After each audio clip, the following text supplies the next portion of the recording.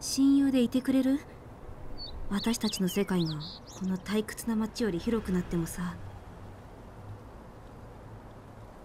まあ流れから言うと言いたくないけどずっと友達だでしょうね。流れで言っちゃっていいですか？はい。僕流れに結構任せるタイプです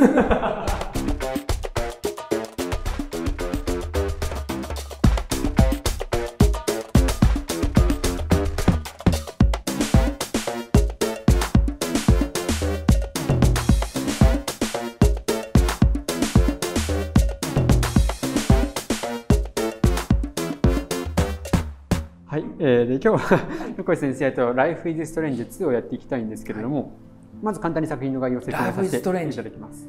うわいい名前ですねなんかものすごく美しい画面これ自体がそうなんですよ。ちょっと夕焼けやね夕焼けの前ぐらいやねうんうん、そんな感じですね。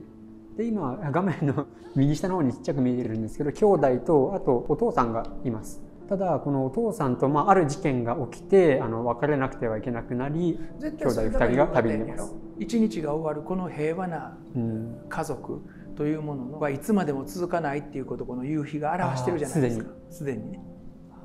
幸せな時期って幸せを自覚しない時期であるっていうことがもろに描かれてるよね。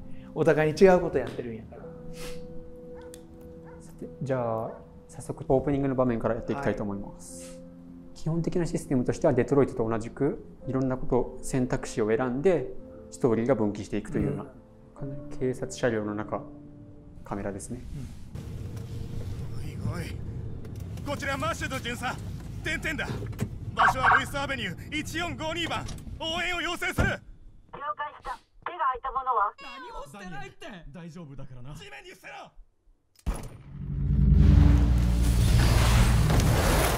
あひっくり返されたね。何にひっくり返されたかっていうとやな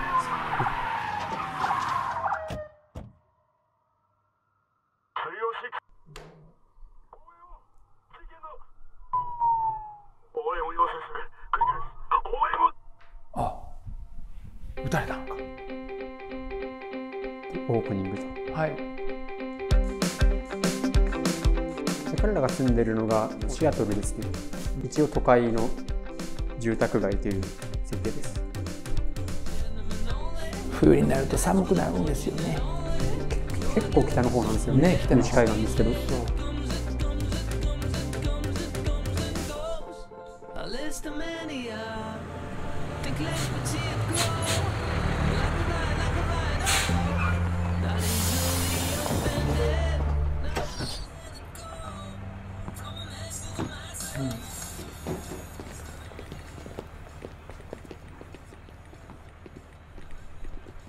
主人公の2人のうちのお兄ちゃんの、お兄さんやね。はい、ショーンですね。お兄さんはまあこの場面で、えっとはい。顔の形しかわからないんやけど、ええ。あのいわゆる上下型って言ってね上下が頭脳タイプうん。しかも2種の感じはするんですよね、うんうんうんあなたと一緒は2種があんねん。あ私そうですか？そうそうそう。特徴としてはどういう人間なんですか、えっとね えっと人と人とつなぐことが上手。うん。で自分があんまり目立とうとしないで、人の特徴を分かって距離感が上手なんですけどものすごいピンチの状況の中でちょっと動けなくなる時あるんですよ。いつもちゃんと頭脳で全部を整理整頓して見てるので緊急な時には、はい。あの一瞬頭が真っ白になったりあるいは人の話を本当に公平に聞くのではい。A さんの話を聞くとああ A さんの立場分かります。対立してる B さんの話を聞くとああ B さんの話もここは納得できます、うん。C さんの話を聞くとあそれも納得できると。お互いにた、その理解度が公平なんですよ、うん。だからお前どれにつくのっていやみんな分かりますって言ってしまう。そういうとこがちょっとある、まあ、頭脳頭脳が発達した人っていうのはそういう傾向があるんですけどいや分かりませんよ。分かりませんけどもその感じからするとちょっと地味な兄貴でしょうん、そうですね。そう感じました。なんか今のちょっと自分個人的にはすごい刺さりましたね。ああすいません。申し訳ない。申し訳ない。もうついね。つい言っちゃいました。すいません。近況報告。ジェンから返信は？いやまだ。そのうち来ると思うけど。ほら弱気でしょ？どれ？見せて。女の子積極的ですね。はい、親友的なライラっていうあのさあの話忘れたの？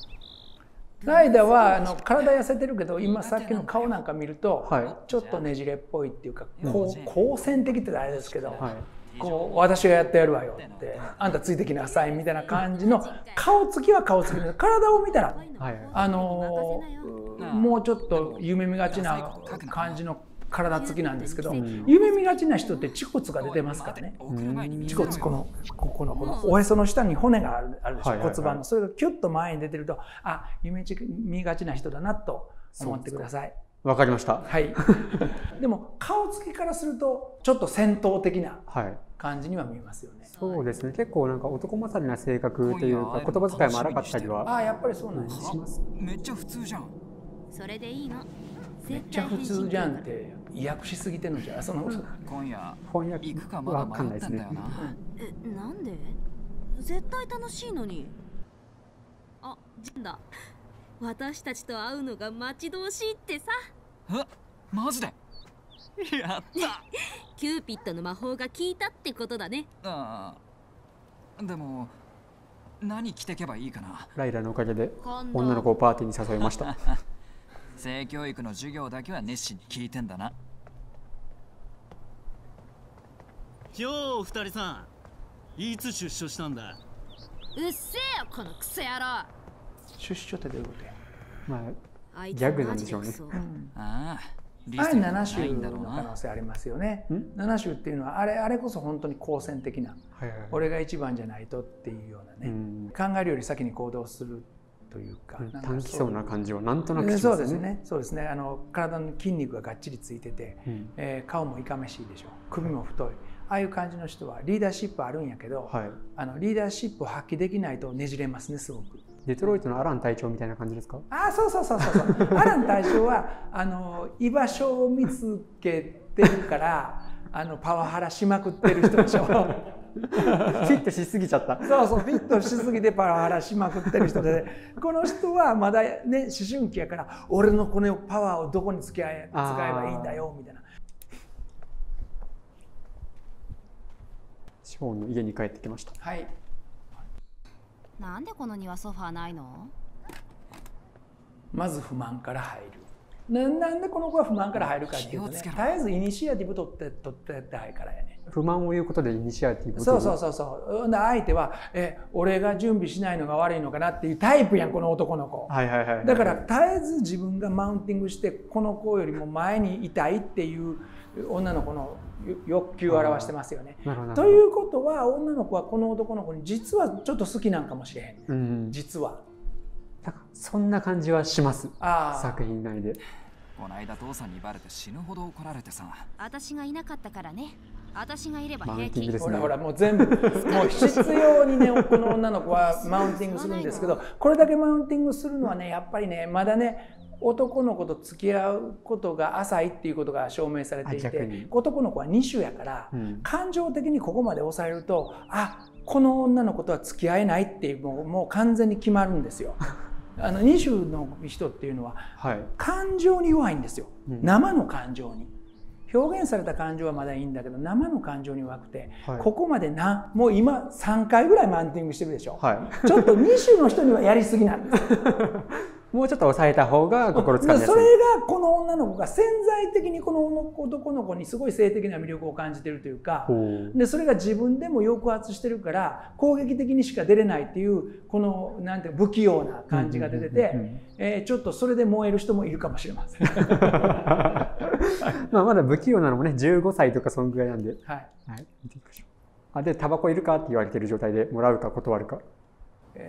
僕やったらもらいます。もらいます、はい。じゃあもらいましょう。15歳だけど。ああわかったよ。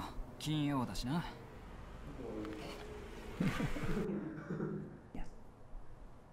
煙の表現上手やね。やっぱりすごい綺麗、そうなんだよね。禁煙が進められてんねんけど。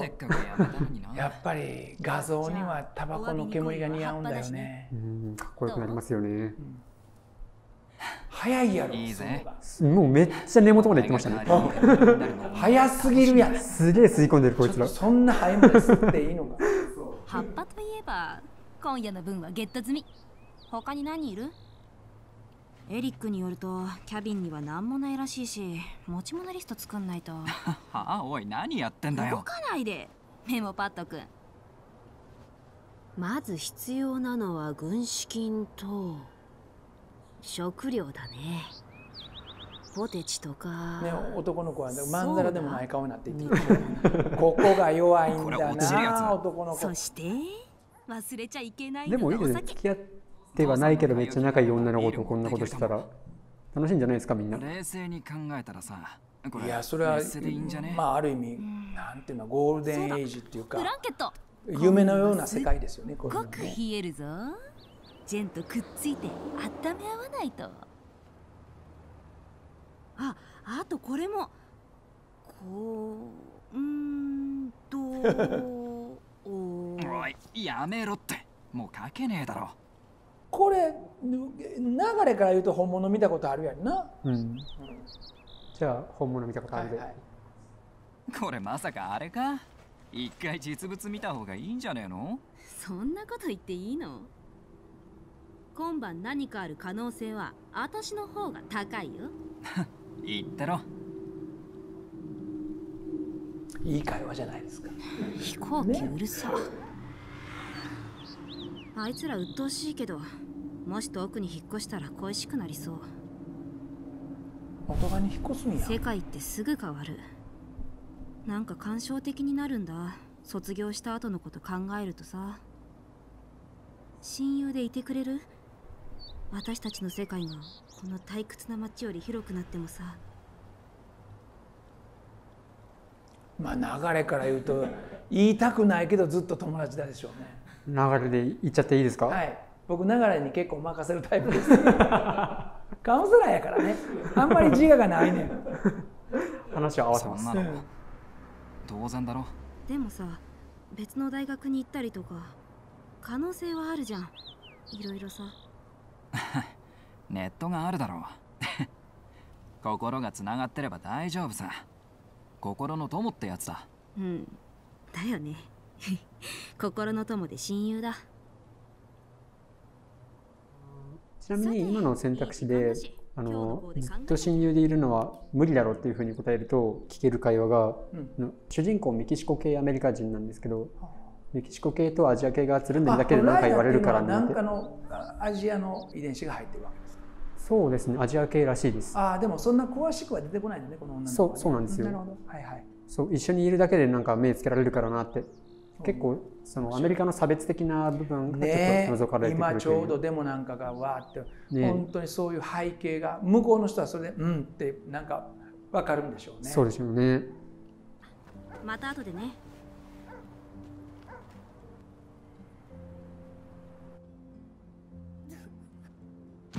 ああちょうどいい。お前に用があったんだ。あ何？忙しいんだけど。ライラに会った？来週ライラと映画に行くんだ。ライラは？おいうるさいぞお前。たくガキのくせに。ライラに面白いでしょ？捨てられるぞ。これは非常にちゃんと描かれていて外ではわりかし気弱なお兄さんなんだけど家に帰るとこのちょっとこの「おいうるさいぞお前」っていうお兄さんずらする、えつまりえー心理学的に言うと人は A さんの前と B さんの前と C さんの前で人格が違うっていうことが見事に描かれてるんですよう。ん心理学的には家の中と家の外で人間の人格っていうのは変わって当たり前なんですよ。やはりお父さんの前の人格とお母さんの前の人格と子供は全く違います。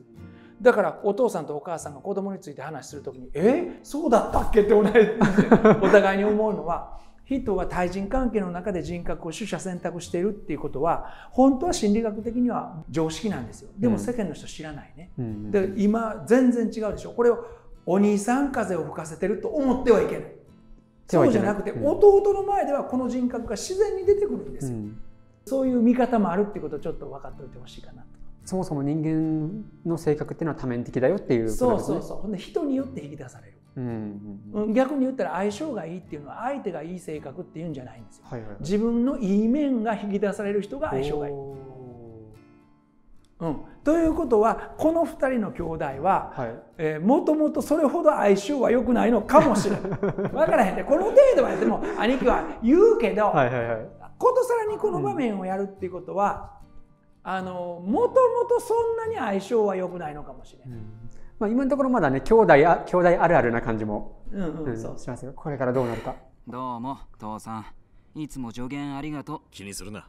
データ実は裁判官を探してた。お前に任せたい。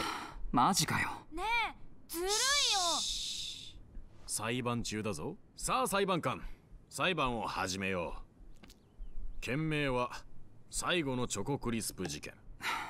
いや時間ないよ。あパーティーの準備とかあるしだから。そのパーティーとやらにどうしても行きたいならやることやらんとな裁判官殿。ああくそ。これ面白いでしょ、家族の中でのゲームじゃないですかクリスプ事件っていうのは、それをお父さんはその中に長男を引き入れようとしてるんですよ、でも長男はもう思春期ど真ん中やから家族の物語にもう組みしたくないの。自分の世界の方がずっと大きくなってるから。はいはいはい。でちょっとお父さんは無神経。まあ言ったら。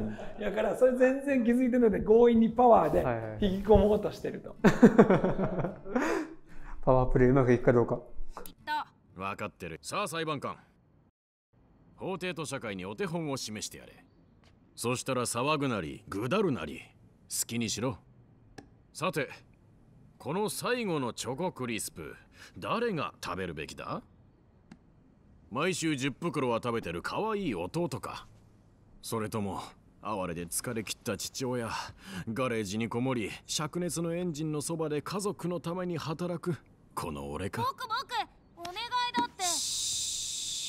決めるのは裁判官だ。では判決をお願いします。強引やねんな。裁判官を決めるのは自分の権力で決めたわけやから 公平な裁判じゃないわけですよ。はい。そうでしょまあそうですねいいかこの裁判官でいいかって弟に承諾を得るべきですよね。まあ心理学的にはそうなります。だからこのお父さんがかなり普段から強引で、うんえ父親としてのパワーを結構ここでもマウンティングしてるようなお父さんだということがよくわかりますね。でも本当は子供たちにすごい愛されたい寂しいお父さんであるということもなんとなく類推できますよね。かまってちゃんですねお父さんね。あかまってちゃん感はちょっとありますね可愛い感じもしますけど。はい。でチョコクリスプを食べるのは誰ですか？お父さんか弟のダニエルか二人とも有罪で食べられないか。なんかこの人が2種だとすれば2人とも有罪っていうふうに言いそうです。2種ってね思春期の頃は大人になったらすごいバランスの取れた優しい人に大体なるんですけどえー思春期の頃は頭脳が勝ってるので、あのちょっと皮肉屋なんですよ。あのうん、シニカルって言いますけど、うーちょっと意地悪なことを言ってみたり自分が賢すぎて相手をちょっと混乱させることを喜んだりするような面が思春期の時期にはあっていわゆる絶倒って言いますよね。絶下とも言いますけど。まあ災いを招いちゃう方だとそうですね。そういう傾向が思春期の頃はあるので この人の体壁的に取ると、はい。両方有罪っていうことになります。じゃあ自然なそれでいきましょうか。はい二人とも有罪。時間を無駄にした罪だ。一件落着。シニ カル感ありますね。ねえお父さん。なんてこった。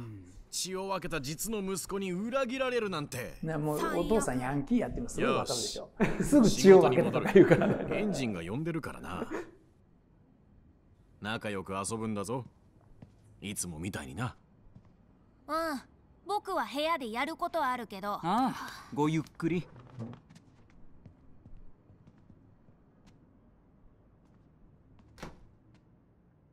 というここからようやくコントローラーが操作できるようになりさます。て持ってくものを準備するか。歩き方見ますか？あちょっと歩かしてください。ちょっと外股ではい。膝を曲げて歩いてるよね、やっぱりそういうとこは2種っぽいんですよねでもね。首に力がないでしょあない感じしますね。うんあ首に力がないの？も首に力のない感じがするでしょ。あの2種の人っていうのはもう特徴は首なんですけどこの首に力がないっていう感じをね掴むのに1年ぐらいかかるんですよ。見抜けることができるのに。僕も時々分からなくなりますけど。分ちからない例もありますけど、うん。首に力がないってものすごい2種の特徴なんですけど。2番目の種ね。でこれが自分の部屋ですね。結構荒れてますねまあでもこの程度は普通やんな。そうですね。一応洗濯物とかまとめてあるっぽいし、はいはい。そうですよね。そんなに荒れてる方でもない。トロフィー写真そう。スケートボード。こういうのをまあ三角ボタンを押すといろいろ情報が見られると。これは何？今のままじゃ代表は無理だな。陸上かな？あそうなんだ。西の場合は陸上であったら長距離走なんですけどね。は週末のバイトやだな。これいかにもなんかハンバーガー屋さんか。あとかスーパーとかダイねナーか,、なんかそんな感じですね。はい。はいとかまあこういういろんな情報最高をの日だった。またみんなと一緒に行きたいな。見ながらこのキャラクターにどんどん感情移入していってしまうという。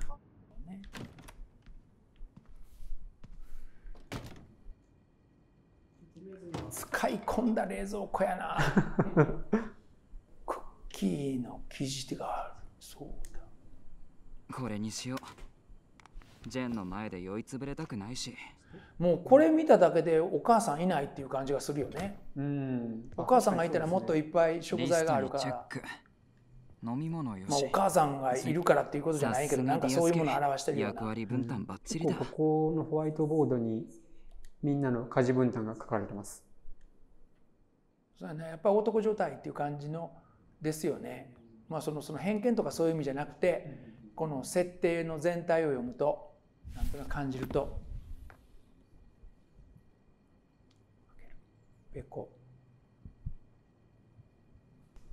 パーティーに何を持っていくかまあちょっといいやこの辺はこなしていきます。ハロウィンのお菓子を持ってきます。ぶちのめされる。そうか。だからお父さんは気遣ってお母さんの役も演じようと思うからあれぐらい介入したんやなお母さん的な立場も自分が演じないといけないって思ってんねやな多分な。そういう気持ちはかなりあると思いますね。ね。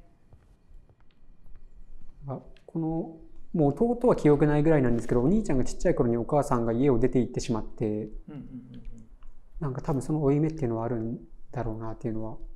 で、これがあの今、ライラからメッセージが来たんですけど、はいパーティーの準備できたら返事しないとあんたのセクシーなパパもらうかんねんって。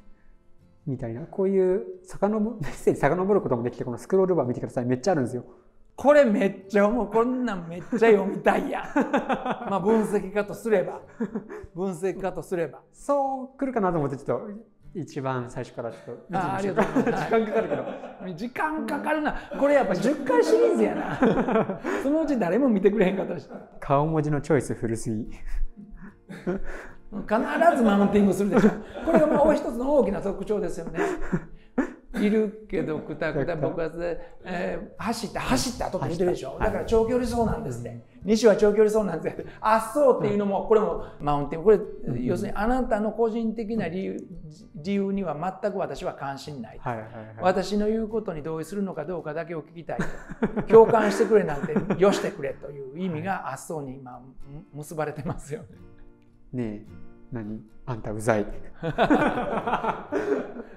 もう絶えずイニシアティブを取り取りたい。安心できて甘えられる相手は私がイニシアティブを取った時だけだっていうのがライラのやっぱり辛いとこですよね。うんうんうんうんこっちも「あっそう」って言いながら「点々」ってつけるのははい。やっぱりこう嫌われると面倒くさいっていうかね。優しさの点々点。そうそうちょなんていうかちょっとこのあの答えてるよっていうか あの鼻先で、お前みたいに鼻先で笑ってないよっていう配慮、うん。いや、僕も点々点めっちゃ使います。そうでしょ。君は彼だよ。というまあ。本当にかなるのとか。結構ライラ好きやんなこの主人公のことな。そうですね。結構グイグイ来てますね。うんとまあこのぐらいにしておきましょうか。いやもう永遠と読めますけどまあいいや。次行こそうですまあ他の人とのメールもあるんですけど、はいはい。まあ、このジェーンは好きな女の子ですね。うまあ要するにマウンティングする女だということです でもいいやつですよ。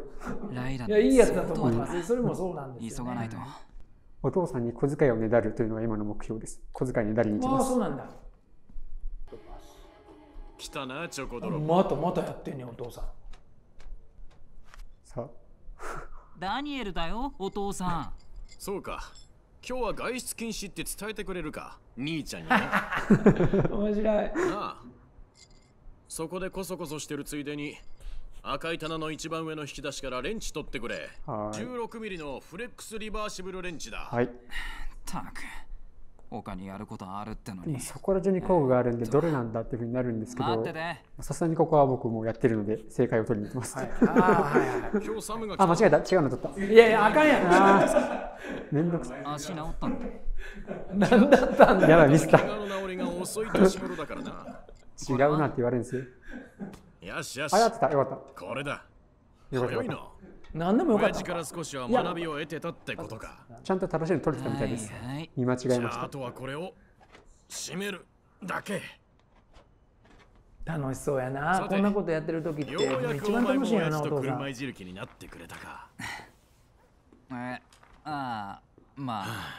好きじゃないのはわかるが手に職はつけんとな。芸術スポーツ機械何でもいい。お前が夢中になれるものならな。分かってるでも何がいいかなんてまだ分かんないよ。まだ16歳なんだ。焦らなくてもいい。俺だって結構悩んだよ。今満足してる？その仕事とかこの家とか。もちろんさ。幸せだよ。まあ引退したらメキシコに戻るかもな。プエルトロボスに。それまではまたいつもの話か、まあ、あの満足してるって言う後すぐに仕事とかって言ったでしょ？それはやっぱりお母さんの話題を避けたいっていう家族の共同幻想やんね、うん。この男の子が優しい子やっていうの分かるよね。すぐにえ今満足してるって聞いて、あお母さんのことって思われたらうんそうですね。悪いまずいと思ったからすぐ仕事のこととかって言ったら、はいはいはい。ひどい言い草だな。ああ父さんありがたいけどまだ運転苦手なんだよ。早くなれないとな。卒業パーティーにバースでエスコートする羽目になるぞ。そんな相手なんかいないよ。お父さん顔に傷があるダニエルっていねうお邪魔虫がいるんだから。ひげのとこにピュッ。9歳だぞ。ってやれよ。それが家族だろ。この国も風向きが怪しくなってきたしな。ああ。えー、っとところでさ。は待ちくたびれたぞ。パーティー用の小遣いの話だろ？正直に答えろ。いいか？小遣いで何買うつもりだ？酒か？正直に答えるか？嘘をつくか？いやう嘘つけないですよミシュだったら。じゃあもう多分、はい。ああえっとまあそうだね。でも友達ん家だし誰も運転しない。約束する。じゃあどうやって帰ってくんだ？まあいい。お前もライラも酔っ払ってフラフラしたやつの車に乗るなよ。な40ドルも？マジで？ああ。まあな。庭の芝刈りもやったし。それに俺に嘘をつかなかったしな。ありがとう気をつけろよ。無事に帰ってくれば何も言わん。お前くらいの年の頃はいろいろあるからな。お父さんも昔は遊んでた。いやそこでそう聞いたらダメでしょ。そこそういう思春期はそんなこと聞かないです ちょっと不自然すぎるので、まあ、あくまでも僕は流れに乗る精神科医なので。はい。変な流れは作らず作らず自然に心配いらないです、はいはいはい。なんかねそこは心配しないでよ。スマホとかもあるしさ。最悪タクシー呼ぶか父さんにメッセする。もしくは SNS でいろいろ見れるようにフレンドリクエスト承認してくれた勘弁してよ。そりゃそうやな嫌ですよそろそろ行くね。そんなことやらせる思春一つ期おらんよこのナイスなパパにハグしていかなくてもいいのか？どういうこと？でもまあここはハグしてあげるか、まあ40ドルもくれたんやから。そうですよ。かなり多かったですよ。ちゃう？5000円近いやろ？します。ハグ。楽しんでこいよ。あそこ嘘つくとめっちゃ減りますお金ほどほどに。あやっぱりそうなんだそうだねそうする。じゃあね父さん。また後でなショーンめんどくさい時もあるけどやっぱり父さんは最高だ。まあそうなるよな。まあ一応部屋行かなくてもいいんですけど弟にちょっとちょっかい出そうかなと。じゃあノックしてください。よおいダニエル開けろ。まあ兄貴としては心配になるよな。いいから。さっきあんな感じになってたから。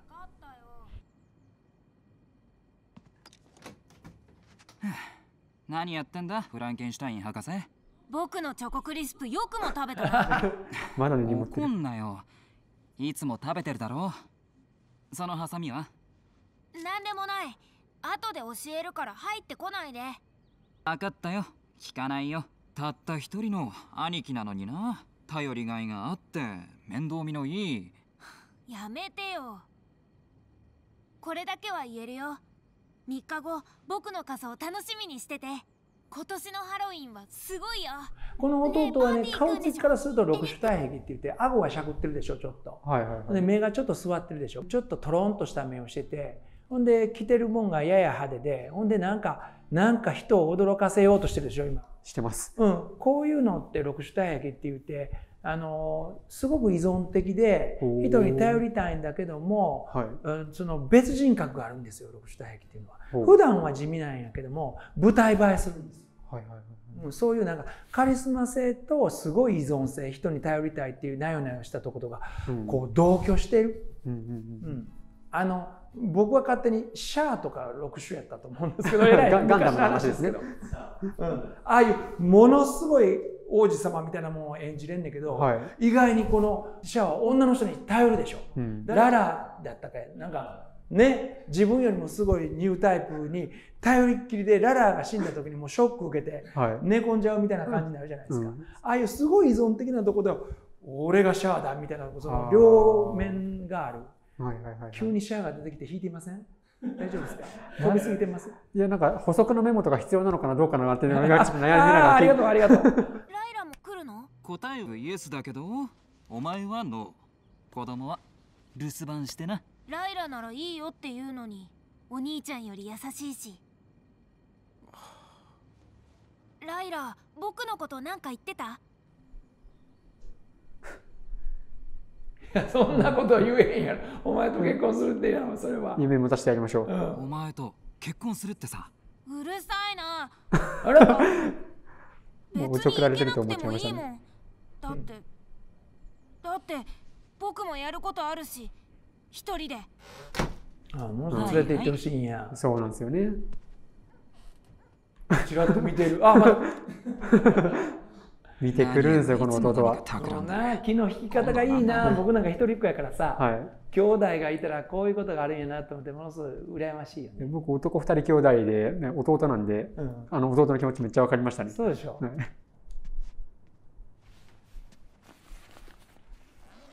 これで準備は OK パソコンでライラに通話しよう。部屋に戻って連絡をしたらまた次のステップに進みます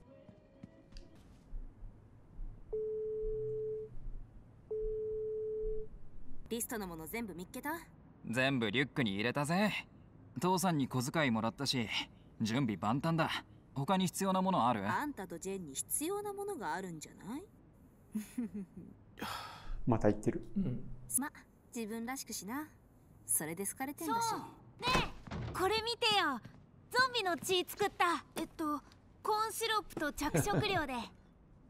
おやあライラ出てけよダニエル。僕はただまったくもうただ。ノックしろってこの前言ったのにもう忘れたのか。いい加減にしろ。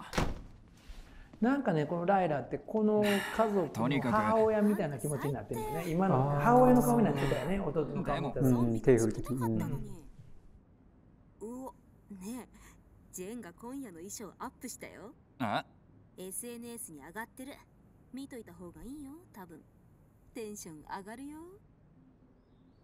いちいち自分の服 SNS に載せるんだ。そうなんです。今日パこれからこれでパーティー君合中ってないんとちゃう知ってもこれ俺と関係なくね。どう？思 そのうちわかるよ。かなりいいけてる子っぽいですもんね。うねえ。ジェン。あれと思ったな。キャッツでしょ。まあフィルター自動でかかるやつですね多分。やめてってば。お父さんよちょっと待って。あさっきの。あさっきの。外でなんか起きてる。あの悪ガキ。どういうこと？ね。えらいことや。このいろいろ服どうしてくれね日常は。そうなんですよ。ハロウィンなのに。庭先で。おい弟に何してんだ？触るんじゃねうるせえなディアス。俺の服に血のりぶちまけたんだぞ。あ。見ろよ。わざとじゃないって言ったじゃん。弟がやほっっちゃいましてたパパのガレージに隠れてろ。このチキンが。近所迷惑なんだよでこれのゲームで大事な選択の時にはこういう画面になるんですよ。はあ。ここで、まあ、弟が血のりを作ってたのをこいつにぶちまけちゃってるんで弟悪いんですけどうん。問い詰めるか、でも変わってやるか。うん、でもやっぱり問い詰める生真面目やから問い詰めるのと違うの？う、ん、うん。まあね。そこまで熱くこの要するに戦いの中に入るから敵味方家族と家族外の人っていうものを分けるわけじゃないですか、はでもこういう客観的な人っていうのは「えどうだったの?」みたいな、い、うん、うん、できるだけ客観的に物事を解決したいと思うと思うから、はい、えー問い詰めるでしょうね。うん、じゃあ行きましょう、はい、おいお前がやったのか？ああえっとわざとじゃないよ。本当に。脳みそ足りねえもんな言うこと聞かないからだぞ。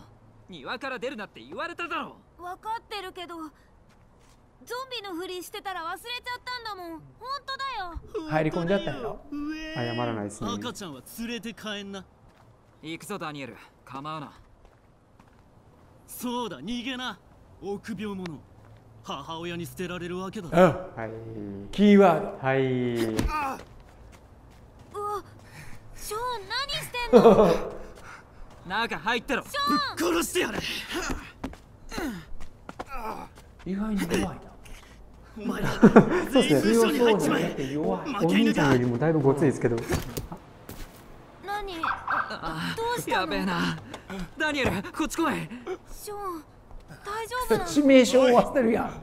そうなんです。運悪く。早く。違うんですお前らいいから離れろこれ血のりが本物の血やと思って。る。違うんです。こいつが弟に手を出して。早く手を頭の後ろに回せ。何なんだよこれ。えらいことになったよ。はいせろ俺たち何もしてないんだ。静かに。本当だって。お前さんこ話をこに練習問題が。絡むな。そういうことなんですよ。二人ともいい子なんです何かの間違いです。動くなと言ってるだろ。何もしてないって。大丈夫だからな。地面に伏せろ。うっ暴発。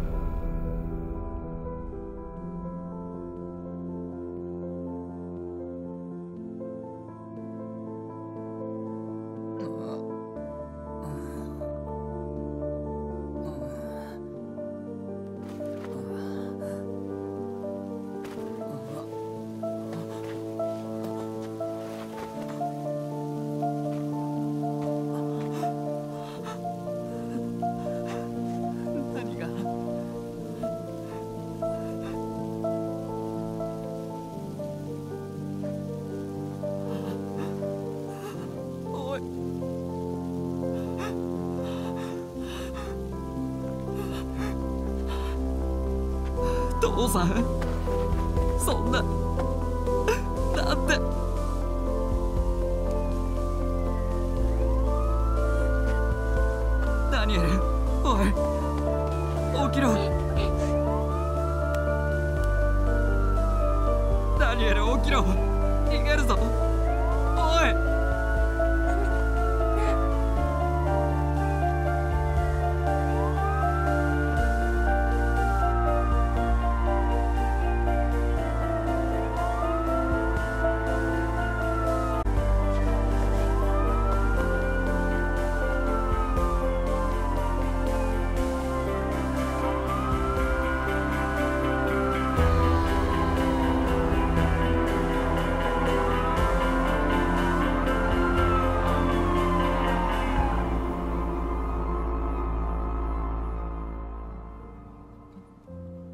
お父さんが殺されてしまうといういきなり衝撃の展開から始まったわけですけれどもそう。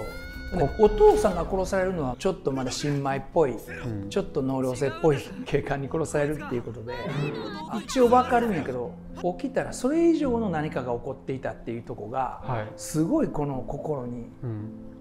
残るよね、謎として。そう。です。何だったんだっていう展そ開なんですようそうそうそう。そのその二重性ってすごい実は物語の上で大事なことですよね。うん。自分にとって肝心な問題と、うん。それからもっと社会っていうか周りもうちょっと広いフィールドの中でもっと大変な問題が起こってるっていうことの二重性でしょ？うん。で子供ってあのほとんどの場合は自分の世界つまり家族やったら家族あるいは仲間やったら仲間。はいそこで問題をが完結するわけですよ。ね、だから、えー今回だってそうじゃないですかあのコロナの問題があってもはい意外に子どもたちが元気なのはう、んお父さんお母さんがそれでも元気やからですよね。あるいは自分の友達がわりかし元気やからで。そうところが将来どういうことが起こるのかってことについてはやっぱり子どもたちは疎いですよね。経験値がないから、うん。子どもたちはだから今に生きてるわけですよ。うん。ほんならこの物語って面白くてお父さんが殺されたっていう子どもたちにとっての世界というものが崩れたわけですね。お父さんが殺された子どもたちの世界が崩れた。それと同時に社会的なその外側の世界も大変な混乱があったようだうんこの二重性っていうのを子どもたちは身体の中には感じてるわけ。ええ。それ無意識なんですよ。うん。で僕たちは2つの事件が起こってるっていうふうに取りますよね、うん。お父さんが殺されたっていうのは周りもなんか戦場みたいになってたっていうこの2つ、戦場があるわけないのにアメリカに。ところが子どもたちの場合は頭で理解できるものと体で理解したものっていうふうに2つのショックがあるんですはいはいで外側の世界が戦場に一旦小さいけども戦場になってたということは子どもたちのトラウマになるわけです、うん。もっと大きな実は。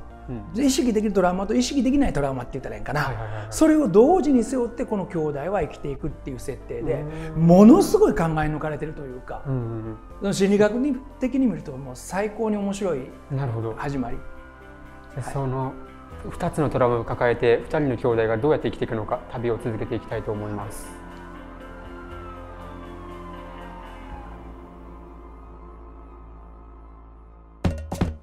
うまいことこれリフレーミングと言います。リフレーミング？リフレーミング。心理学的に正しい誘導。お兄ちゃんの側に共感してる人がおそらく多いんでしょ。ある意味ある意味お兄ちゃんは弟の罠に完全にさっきからハマってるんですよ、はいはいはい。無意識って言葉でできてる言葉ってあの氾濫してるけど実はすっごい力を持ってるんですよ実は。